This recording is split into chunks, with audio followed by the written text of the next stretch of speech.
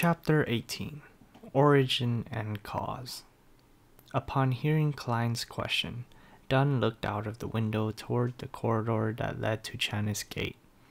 He took out his pipe, stuffed it with some tobacco and mint leaves, and held it to his nose. He took a deep whiff as his voice turned reflective and drifting.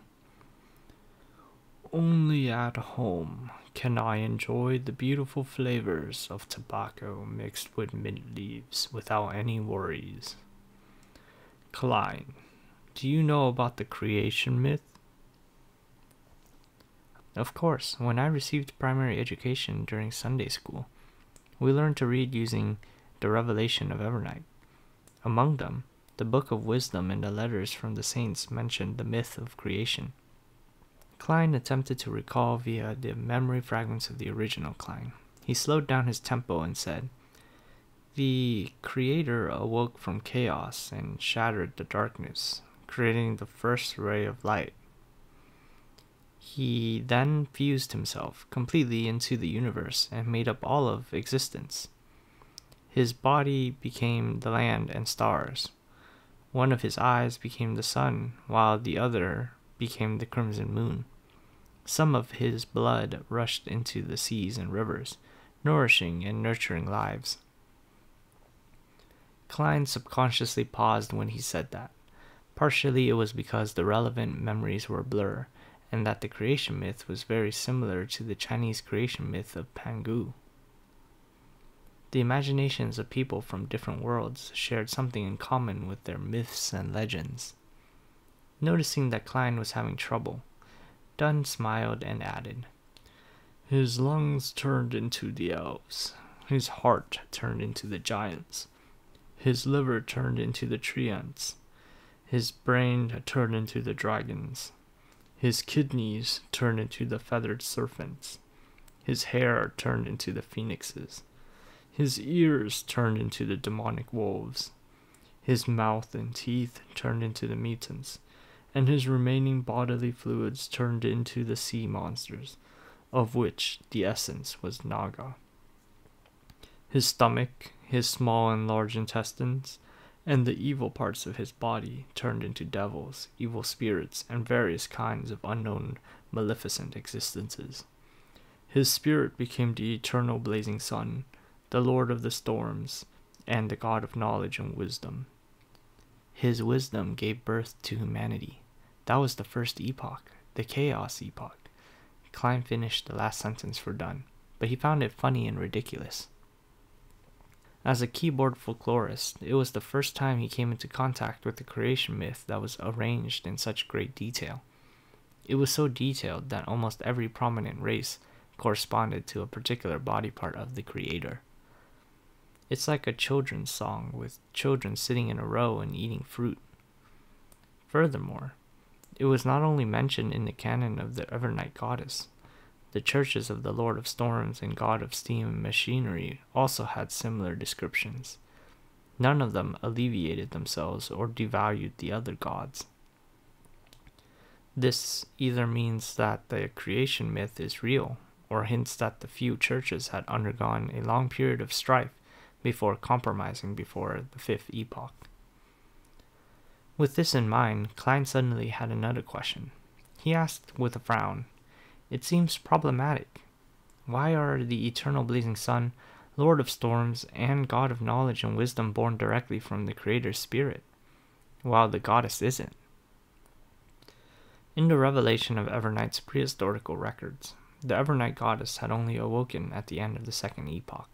Together with the Lord of Storms, Eternal Blazing Sun, and other gods, she blessed and helped humanity survive the cataclysm. It was also known as the Third Epoch, the Cataclysm Epoch. It was during that time that Earth Mother and the god of combat appeared as well. As for the god of steam and machinery, whose original name was the god of craftsmanship, he was born only in the Fourth Epoch. In that sense, the standing among the gods seemed self evident. The ones who were more ancient were more orthodox. It was extremely clear. This also troubled the believers of the Evernight goddess. Dunn Smith held his pipe with another hand and instead of answering, he returned with a question. Repeat the goddess's full title. Klein immediately felt like he had stabbed himself with a knife. He racked his brains and tried his best to recall. The Evernight goddess stands higher than the cosmos and more eternal than eternity. She is also the Lady of Crimson, the Mother of Concealment, the Empress of Misfortune and Horror, Mistress of Repose and Silence. Thankfully, Klein's mother was a devout believer of the Evernight goddess. When she was still alive, she would recite this every evening at dinner. Even though the memories of the original Klein had fragmented, not all was lost. What does the Lady of Crimson symbolize? Dunn asked with a guiding tone. The red moon. The moment Klein answered, he immediately understood. Then, which part of the Creator did the red moon come from? asked Dunn with a smile. A single eye. Klein and Dunn smiled at each other. This was no way less impressive than the Lord of Storms, who was formed from a third of the Creator's spirit. As for the churches of Earth Mother and the God of Combat, they likely had similar explanations. However, the God of Steam and Machinery had been born too late to find a reason. Thus, their church had been weak in the past thousand plus years. It was only with the invention of the steam engine that they seized the opportunity to truly be on par with the other gods. Dunn stroked his pipe gently.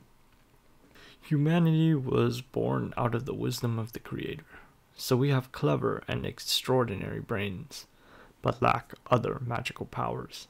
However, from the creation myth, we can form a simple but clear conclusion. Everything stems from the same origin. Stems from the same origin. Klein repeated the last few words. According to this conclusion, humans who were protected by the gods were able to resist the giants, devils, and the mutants. Gradually, they figured out means to obtain the power of the Beyonders. That is, by using the corresponding parts of the evil spirits, dragons, monsters, magical trees, flowers, or crystals, and combining them with other materials to form potions. By consuming and absorbing the potion, one will gain different powers. This is common knowledge among mysticism studies. Dunn did not elaborate in detail and only gave a brief introduction. In this process, our ancestors relied on painful lessons to discover that if they were to consume high grade or extraordinary potions, it could easily lead to tragic consequences. There are three possible outcomes. Which three? pressed Klein curiously. First, mental death and the complete breakdown of a body. Every piece of flesh will become a terrifying monster. Second, their personality will be changed by the powers contained in the potion. They will turn cold, sensitive, irascible, cruel, and indifferent. Third, well. Dunn put down his pipe and picked up a porcelain cup and took a sip. Vermo coffee from the Paz River Valley is bitter, but very fragrant. It leaves a splendid aftertaste. Do you want one? I prefer coffee from the Vena Potter Plateau. Of course, I have only drank it a few times at Welch's place. Klein politely declined. What's the third outcome? Mental disorder. Turning crazy on the spot. Becoming more devilish than the devil. This is what it means by losing control. Dunn emphasized the words losing control.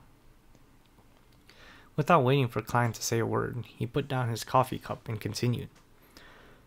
After a long period of experimentation and exploration, together with the birth of the blasphemy slate, humans have finally perfected the potion system. We've formed a tiered system that chains into stable progression paths known as sequences. The lower the number in a sequence, the higher the grade of a potion. At this point, the seven major churches each control at least one complete sequence. Besides, there are also incomplete paths that they have gathered over the past hundreds or thousand years. Blasphemy slate? Klein sharply noticed the term. At the gathering, the hanged man had also mentioned it. According to the hanged man, the blasphemy slate was the most critical factor of a potion's system formation and completion. That seemed to contradict what Dunn had just said. Those were things created by some evil gods. As for which era it appeared, what it contains, or what's so special about it, I am unsure as well. If you discover any clues, you have to immediately report it to me. It deserves the highest level of response, said Dunn vaguely. I mentioned one of the types of losing control. I'll now tell you the remaining four. All right. Klein pushed the question of the blasphemy slate to the back of his mind and listened attentively. Although humans have clever minds, they lack extraordinary powers. It is not absolute. There are always a few lucky ones. Perhaps I should call them the unlucky ones. They are born with relatively higher perception, well, it also means the ability to sense spirits. They can hear voices that others cannot hear and see things that others cannot see. They have partial characteristics of beyonders. While Dunn spoke, he looked at the empty air around him and watched Klein shudder in fear. In other words, if they are half a sequence 9 beyonder and have fixed characteristics. Oh, sequence 9 is the lowest grade in the chain. In short, they can only choose a corresponding fixed sequence pathway. If they consume other potions, the effects might range from mental disorders to a loss of control, or even worse, death. Got it. Klein nodded slowly. The third kind is similar to the second kind.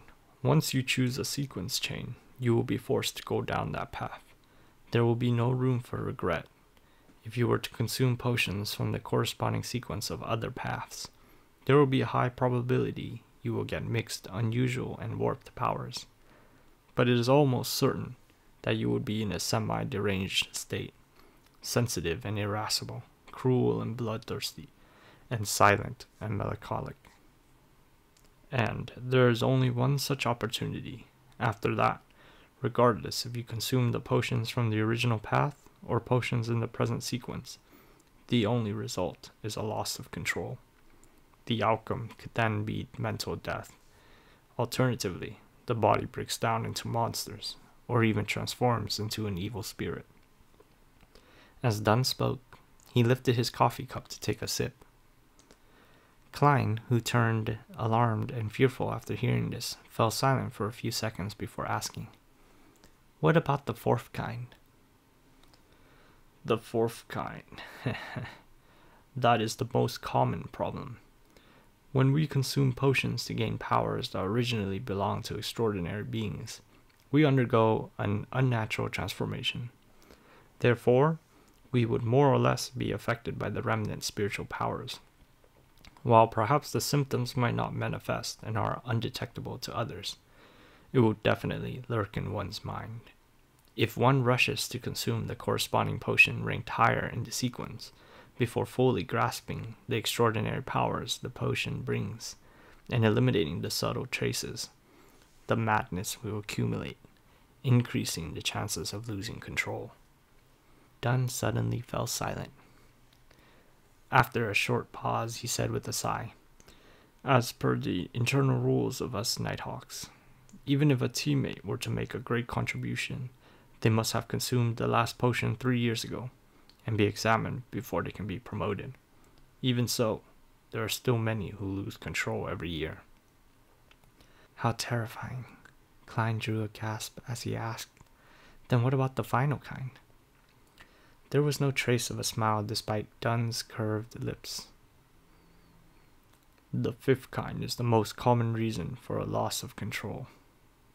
For Beyonders, one's spiritual perception will be enhanced more or less. The smaller the number in the sequence, the more enhanced their perception. Therefore, they would hear what others cannot hear, see what others cannot see, and encounter things others would not encounter. They are constantly met with mysterious enticement and illusionary bewitchment. Once they are overstimulated or have greedy desires, they will slowly go down the path of losing control. As he spoke, Dunn looked straight at Klein, his gray pupils reflecting Klein's figure. His tone turned bleak as he said, The founder of the Nighthawks, Archbishop Chanis, once said, We are guardians, but also a bunch of miserable wretches that are constantly fighting against threats and madness.